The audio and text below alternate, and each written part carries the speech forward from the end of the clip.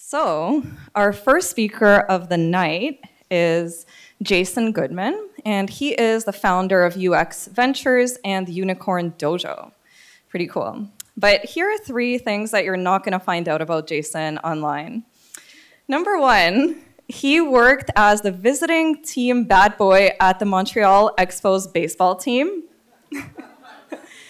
He successfully fought his rejection to McGill's Masters of Education program, and he convinced them to accept him conditional to getting straight A's in his first term. And in his first job, he stole hundreds of dollars in cookie dough from Felix and Norton Cookies to make enormous cookies for his friends. You sound like a great friend. Jason, come on up here and share your fuck up.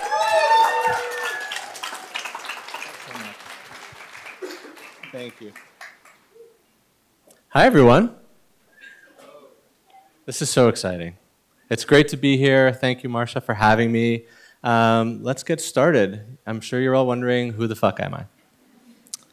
I'm going to tell you a lot, actually. Too much information is coming your way. So the, the note about me being a visiting team bat boy for the Montreal Expos, that was a dream job for me because my, the first 18 to 20 years of my life was all about baseball. The only thing you could talk to me about was baseball. I thought I was going to be a professional baseball player. That's all I really cared about. Um, my parents fucked up, actually, and didn't let me take a scholarship. Uh, so that's me in the corner, just in case you need the, the proof. I've been waiting for years to show someone this that actually be contextual. So that's me in the corner. So what happened was, um, and this will all come together a little bit, but what happened was my sister had a breakdown um, and was suffering from hysterical blindness one day. And it was this really messed up moment in my household. And my entire family fell apart, but I seemed to be able to stay grounded and be there for my sister, calm her down, uh, try and just level with her. And I just realized that I was passionate about a lot more things in baseball and mental health, and um, really became top of mind for me and understanding how the mind worked and how it didn't work. And so I switched my focus entirely. Um, I started to study psychology and took that very, very seriously and became particularly passionate and focused on autism because at the time, um, there was talk of epidemic when it came to aut autism. And I just figured like that's a really like messy, hairy problem that maybe I could make a difference in. So my first job uh, after graduating from McGill and doing my bachelor's was just walking an individual with autism from his readaptation center to his home and helping him out there. Um, and then I continued along that career path, became an educator, did my master's, convinced McGill to take me. Uh, my GPA was like two because uh, I was stoned most of the time, and when I wasn't stoned, I and I did show up, I wasn't listening. I was that guy in the back who was just like with the laser pointer, like pointing at the teacher. That was me. Um, but I graduated. My mom was happy. Um, and what next, right? So I, I, I, was, I was really passionate. I'll just go back a little bit, actually. I was really passionate about this. I was very happy. Um, I was working in starting all these different pilot programs in education all across Montreal. I loved it. I, I, I thought I was going to do that for the rest of my life. But what happened was every time I tried to innovate and do anything different, um, I just got pushback and I realized that actually I'm not going to be able to innovate and do anything interesting in education long term. I need to get out. I want to build something, I want to make something, I want to stop talking about innovating and do something. So I left Montreal, went to Toronto, um, to go to this lovely place. Does anyone recognize this place? It's the Canadian Film Center. Um, it's uh, Norman Jewison who uh, started a film center. Uh, I'm not into film, but they actually had this, they funded this, um, TELUS funded actually, this interactive um, new media kind of uh, incubator at the time. This was like before the DMZ, before Mars and all that. And I was just very, very happy to be there. I felt like, wow, this like, the, you know, they invited me and a bunch of other designers and developers and all these really interesting people to this film center. I was a guy who was an educator and psychology, like studied psychology. I was so happy to be there. I got a dog. That's Farley. I had Farley for 11 years. He passed away six months ago. And I got, so I got a dog. I was very happy um, things were going really, really well. This is the up part of the story, right? You know what's going to happen. Um, autism was still top of mind. So just to be, give a little bit more context, at this wonderful place, this is actually a converted uh, horse stable. Um, we got to learn from all these different interesting people about design, technology, what's happening. Um, they brought in outside speakers, they brought in people from MIT, they brought in industry people. Um, I was just inspired, and I was still thinking about autism a lot. And I was thinking about families a lot, because the one thing that I took away from my experience in working with uh, kids on the spectrum was how tricky it was for the families. Um, and just trying to think of products that would maybe um, bring families together and also sort of address some of the challenges with autism. This particular, is anyone familiar with this? How many people are familiar with autism in general, know a thing or two about it? Oh, amazing. That's amazing. Um, okay, so this is a PECS program where um, it's a picture exchange program that you use with kids um, or young adults and teens and adults. And basically, you exchange a card for something. So if you want a drink, you exchange this card for a drink and then you get a drink. But what I never understood with this PECS program is why is it not, why aren't we using real photos? Why aren't we being literal? Because we know that people with autism like literal. Um, so I was driving home one day and I called a buddy of mine who was in the program and I said, wouldn't it be cool, like is it possible to spell the word mom and see a picture of your mom? Is it possible? Could you right now spell a word on your phone and see a picture of it? Sort of. Like we're starting to move there now. Um, at the time, not really. And even still, not really. Um, so we thought we might have a seed idea. So we started to prototype this product called Elemento Pix.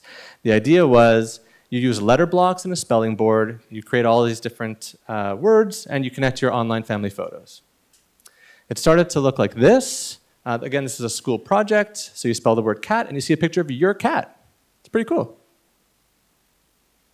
This boy uh, was the first kid that we play tested with, and he spelled the word shark. He's starting to spell shark, um, but it also shows shark or sharks, plural. This is getting awesome. So hold on one second. I'll show you what it looks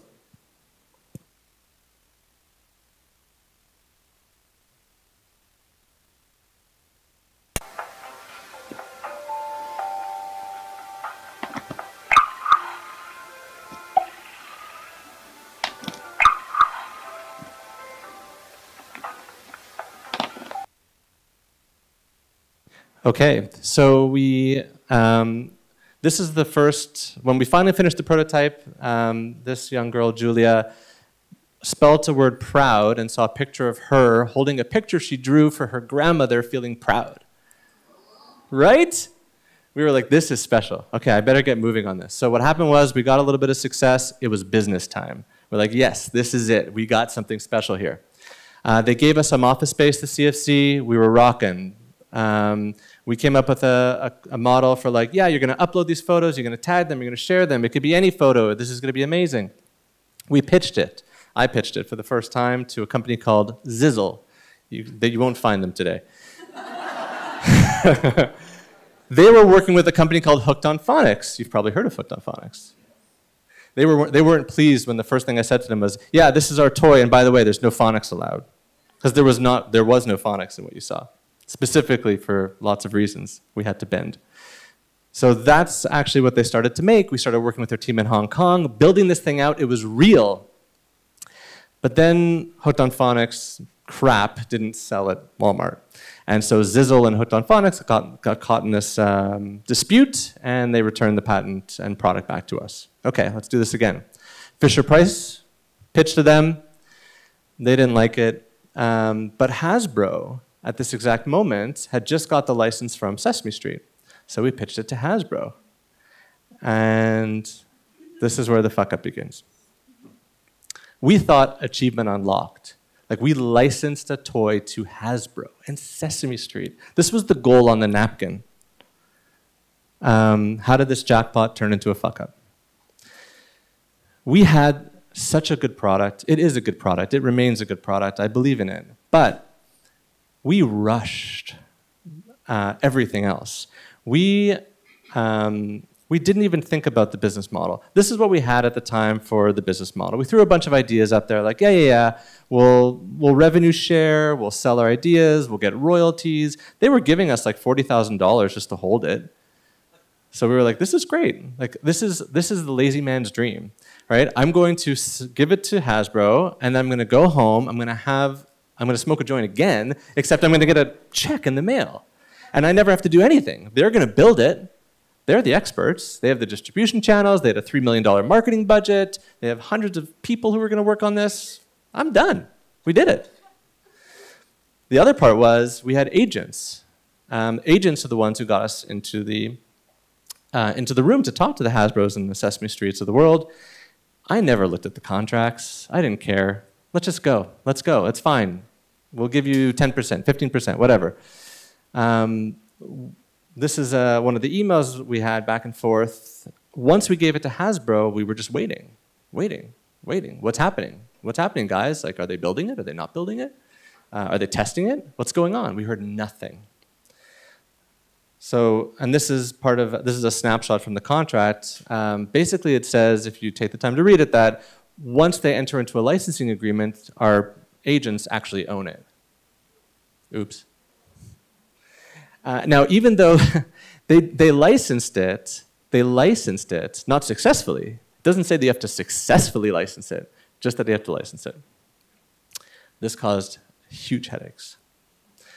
Partners. I didn't give thought to the partners. The second we came up with this idea, it was a school project. I just said, listen, we're, we're doing this. And I just dragged everybody along with me. Um, my partners were not the right partners within a few months, one of them had to be bought out, and then within another few months, we had other issues. It was like waiting for Godot at this point. So we've, we'd handed it off to Hasbro, and we were just waiting. And years went by, years. So what happened? Um, am I okay on time? Good. Guilt. I was the business mind of this idea, and I was lazy. Um, I thought we had a winner, and I just didn't think we needed to think about anything else. And I knew that the blame was really on me. Uh, I was the one who was working on contracts. I was the one who didn't think about the business models. Um, I didn't think about the fact that if we had just actually approached them and say, hey, do you guys need help with this? Like, we could do it. We actually had the team to do it. We could have partnered with them and helped them become a software company, a technology company. Hasbro wasn't ready to become a technology company at this point. Um, the shame was deep and real. So I, when you, when you're working on something that you really believe in and you're so excited about, and then you build it, you prototype it, and then you license it to a company like Hasbro, I told everybody. I told absolutely everybody. Um, my parents, my family, my friends, online, like it just, it was just, I told everybody. Um, and to have to go back to each and every one of those people. Every time they saw me, they were like, oh, the toy, you're the toy guy. What happened? What's going on? I'm like, yeah, no, no nothing. Nothing's happening. Not only does nothing happening, I have no control over anything. It was like it didn't even exist. I basically, you know, threw it into the ocean. It was gone. Um, I regretted, obviously, a lot of things. Um, but then the depression started to set in because, and I'm going to kind of fast forward here a little bit, the depression led to anger um, anger at everybody. I started to, instead of internalizing it, I started to get angry at everybody else. The world is against me. Um, this is not a real term, I made it up in preparing the speech, but I started to form a cluster narrative. How many people, when something shitty happens, you start to say, it needs company, right? You're like, it's not just this shitty thing, it's this shitty thing. It's not just that I fucked up, I worked so hard on this thing and I should have been rich and I should have been famous and I should have gotten this product out into market, but also I wanted to become a baseball player and my parents wouldn't let me. And also, I had to have back surgery when I was 20, when all my other friends were going off and doing stuff. And also, I had to have another back surgery, so I've had two of them now. And also, my sister had to break down. And also, my brother's now bipolar. And also, my uncle just committed suicide. And also, and it's just one big cluster. And it's just your life starts to feel like you're, you're cursed. And that's a dangerous place to be. And you need someone to help you get out of that. Okay, so does the story ever fucking end? Uh, it does. It does. It ends. So first of all, what happened next? What happened next is this guy who everyone's familiar with, uh, launched that device. So when we shut down in 2009, uh, a year later, the iPad came out. Digital products for kids took off. It was the biggest thing. Um, and this was part of the cluster narrative I was forming. Like, oh, but look at this luck. We finish, and then all this starts two seconds later. There's a company called Osmo who did something very similar. You may have seen them. Um, they're uh, two ex-Google guys um, started this company, and it's really successful. And it's a great product. It's uh, a little bit older audiences than what we were designing for, but still very similar, as you could see. Our patent still exists. We have a patent holding on to it. Um, so what happened next is I, I started a family. I got fired from every four or five different jobs, one after the other, after the other, after the other, um, just being angry all the time. Um, my kids didn't notice it because I was always happy with them. So that's my son, my two sons, Max and Asher. And then unfortunately what happened was uh, just a few years ago, three years ago to be exact, my father-in-law uh, passed away. My father-in-law represented entrepreneur, like the entrepreneurial spirit. He was, when I, when I met my wife and met my father-in-law, he, he told me these amazing stories about how he moved from South Africa. He was a lawyer there. He went to, came to Toronto. He was selling children's books at the Harbourfront. He was just always trying to come up with different business ideas. And right before he passed away, he finally sort of had his first success. After trying and trying and fucking up and fucking up over and over again, um, he revitalized Samuelsohn, which is a suits company. And I just, with his passing, um, I wanted to honor that. Sorry. So the reason my daughter comes right after is because he passed away when my daughter was, my wife was eight months pregnant. It was a really tough time. So there's so much reflection going on. And all this anger and all this depression and thoughts and feelings I had about how things weren't going my way, everything just came into perspective for me. That I need to I need to be like my father-in-law. I need to be like Lawrence, and I need to look at what I have. I have everything. I have success. And Lily came out and you know, very quickly decided that I needed to start another venture. Magic Cape is the different version of that same company. So we actually haven't given up yet, but I knew I couldn't start this. I knew this business was, to do it today would cost a lot of money, and I had no money. In fact, I was completely broke. Still am. but,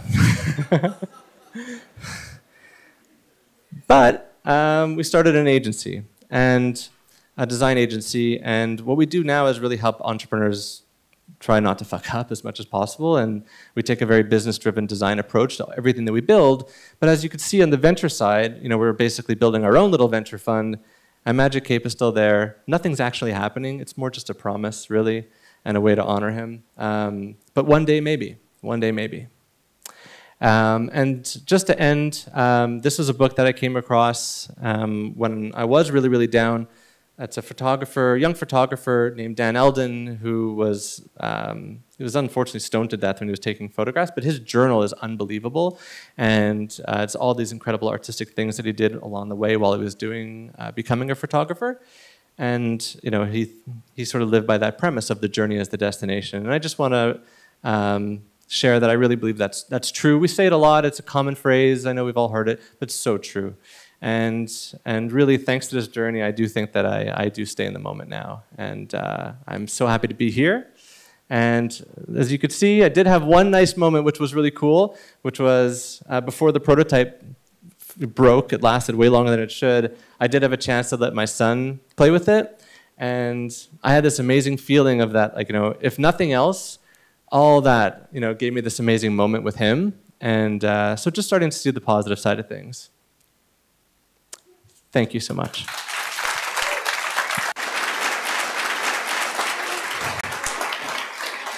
it's amazing. Jason, that was such a touching story. Thank you so much for sharing it with us, and thank you for being so open about what happened and how that journey sort of took you to where you are today. Congratulations on what you're doing now, and really the best of luck. I know you're in a much better space to do it now. So let's open it up to some Q&A for Jason. I'm just going to make one request. When you ask your question, please keep the question itself brief, just so we can get through as many as possible. All right, and we're going to have a mic runner come too. So, who wants to kick us off with the first question?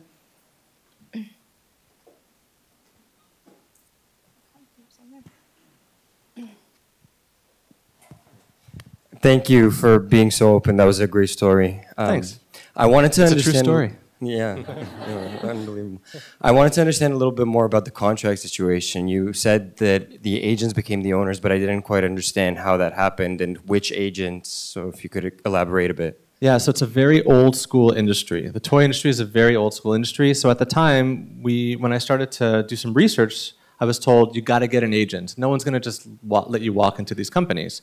So I was like, okay, and I went and talked to some, and they all had, they knew what they were doing. They all had very aggressive contracts. This particular agent was a lawyer as well.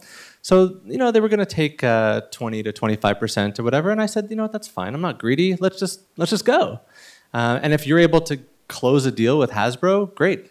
20% or 80% of something is better than 100% of nothing, right? So, but I didn't read the fine print. Um, and we had some serious arguments about that because just because you, you know, to me, licensing something means that you license it and there's an actual deal in place. Not that it was licensed for a period of time and then returned back to you, right? That's not really a sale. Like when we see in, this, in the in general business, right? If you close a deal and there's commissions, there's an actual deal. It's not a potential deal that almost happened, right? So that was one of the big issues.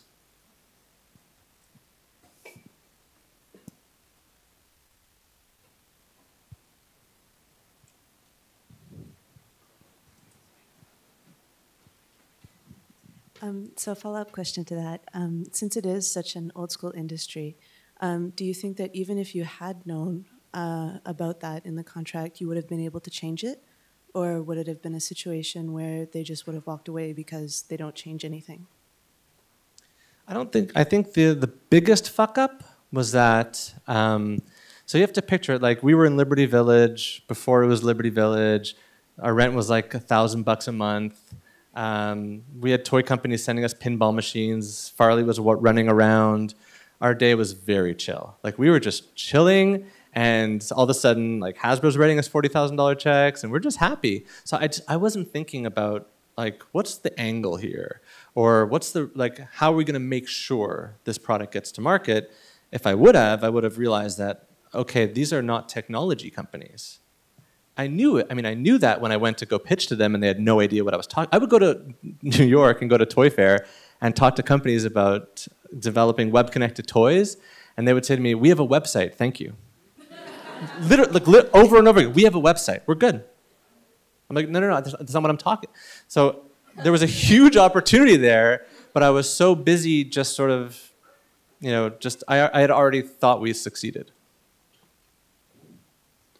That was the bigger fuck up. Um, when you look back at this now, uh, with 2020 hindsight this year, yeah. um, what would you actually? Is there anything you're like? I wish I've done this differently. Is there any like leverage point, tipping point that I wish I've done that differently? I just wish I wouldn't have like devalued myself. Like I, I literally thought that you know we were four, three of us really at the time so one engineer, I was, uh, we had one designer and myself who was more of a UX designer and um, product development person. I just undervalued us. We kept talking about how like like we don't like we're just we it was a school project. It was a school project. You know, we don't know the toy industry. I wasn't a I was a I had, I had a master's in education. I didn't call myself an entrepreneur. I didn't even know what that word was. I didn't think I didn't call myself a founder, nothing. I, I just thought like this is just we have a good idea and let's just get rid of it as fast as possible and cash out as fast as possible. It was really dumb. but no, the, the message of like the other thing is once it was in their hands, I started to step up, but it was too late. Like I knew that I had to be the one to champion the idea and explain it to everybody. And here's the vision, and this is what the future of it is. And hey, Leapfrog, I talked to Leapfrog. They didn't. No one wanted to talk to us, but you know, I just really undervalued myself. You can't undervalue yourself. You can't. Like even you know a lot of these successful people that we show on the screen over and over and over again, like the Steve Jobs of the world and everything. You know, you don't. You have amazing ideas. Your ideas matter. Your thoughts matter. Your ideas matter. and no one's going to champion them better than you. So, yeah.